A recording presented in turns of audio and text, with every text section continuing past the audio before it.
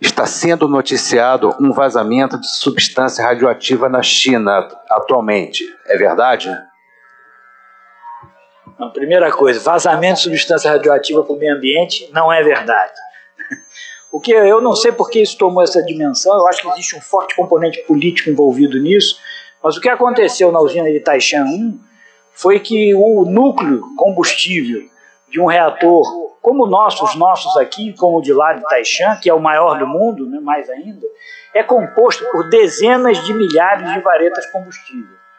Então, é dentro do projeto da usina, é aceitável que alguma dessas varetas falhem e o material radioativo saia de, de, de uma vareta, ou duas ou três, depende do projeto, e vá para a água e ele é retirado da água de esfriamento.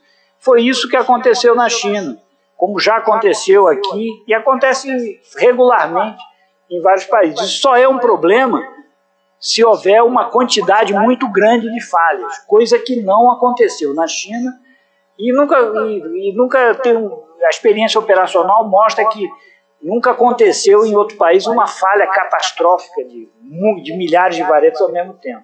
Então, eu acho que existe um forte componente político, eu não sei porque esse, esse fato operacional tomou uma dimensão internacional tão grande. Né? Eu atribuo um pouco à política, sinceramente. Porque um evento, do, as informações que nós temos, é um evento operacional normal que a usina, tanto é que a usina continua operando, sem nenhum problema. A repercussão é que parece influenciada por outros fatores que não técnicos, nem de segurança nuclear. SCBR Defesa Nacional.